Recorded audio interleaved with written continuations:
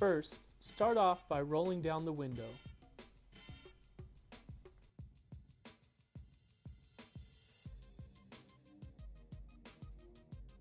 Next, grab the cleaning wipe, open, and clean the areas in which the visor will be applied. Be sure the area is dry before proceeding to the next step. Now we're ready to attach the clips to the window frame. First, hold up the visor to the door frame to get an idea of where to install the clip.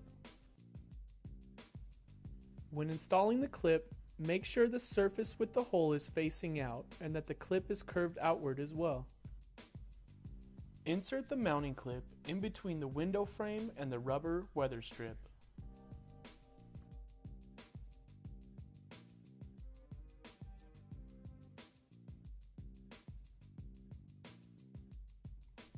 Repeat these steps for the second clip.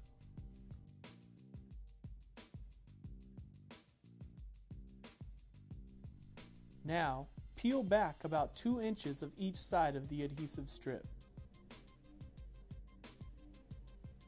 For this application, you will first attach the front edge of the visor to the side view mirror panel.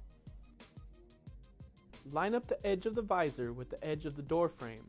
We will apply pressure to the adhesive strip while slowly peeling back the red tape. Be sure to take your time with this step. Gently pull a little tape at a time while applying pressure to the area of the visor where the tape has been removed. Always grab the tape as close to the visor as possible to avoid tearing the tape. Once you have removed all the strips of tape, run your fingers around the edge to ensure a tight seal. Now we are ready to install the included locking pins. Start off by adjusting the clip so the holes of the visor and the clip are lined up. We will then grab the circular piece and the center pin Place the circular piece on the back side of the clip and put the center pin through the hole on top of the visor. Then, grab the locking pin and push it through the center to lock everything in place.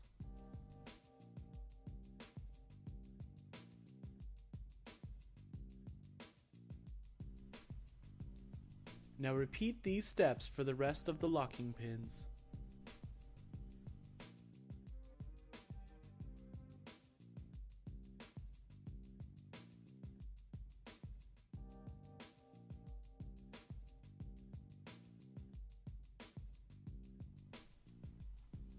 Repeat the same procedures for the rear visor.